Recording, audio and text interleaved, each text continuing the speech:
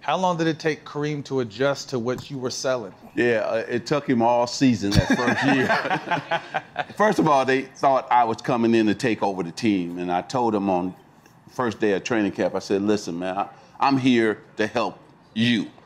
I said, "What do you like the ball?" He said, "What?" I said, "What do you like the ball?" I said, You like it high, you like it in the middle of your chest, you like it low. He said, No, I like it high. I said, That's where it'll be every single time. Mm. I said, I'm here to help you be more successful. So that first game, he hits a sky hook from the free throw line. Now, not, not from down low, from the free throw line to win the game in San Diego. So I go running, I jump, and I'm hold, choke, choking him and hugging him. and I didn't let go for about two or three minutes because I had never seen a shot like that, game winning shot like that.